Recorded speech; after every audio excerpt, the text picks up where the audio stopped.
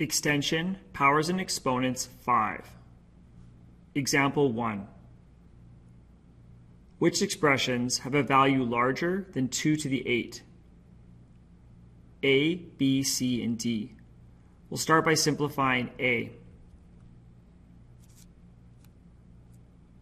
2 to the 3 to the 4 is a power of a power, so we'll multiply the exponents. So 2 to the 3 times 4, which is 2 to the 12.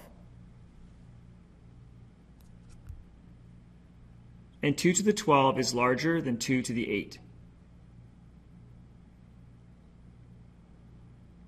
So A is correct. Now we'll simplify B. In brackets, 2 times 5 to the power of 8 divided by 5 to the 8. 2 to the power of 8 times 5 to the power of 8 divided by 5 to the power of 8. We'll keep the 2 to the power of 8. And with 5 to the 8 divided by 5 to the 8, they're both powers with the same base, so we'll subtract the exponents. So 5 to the 8 minus 8. And 8 minus 8 is 0, so that's 5 to the 0. And any power with an exponent of 0 equals 1.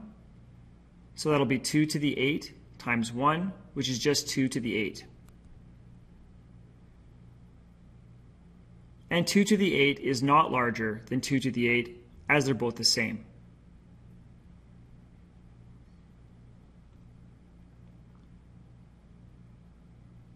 So B is incorrect.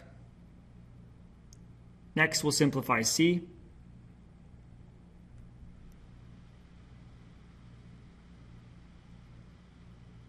Two to the five times two to the four. We're going to multiply powers with the same base, so we'll add the exponents. So 2 to the 5 plus 4, which is 2 to the 9. And 2 to the 9 is larger than 2 to the 8.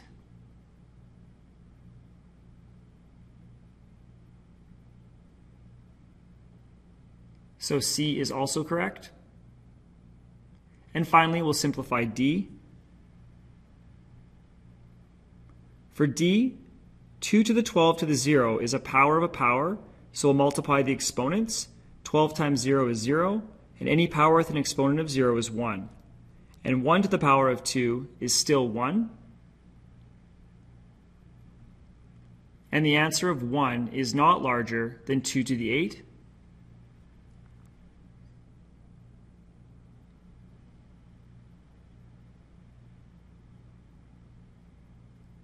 So D is also incorrect.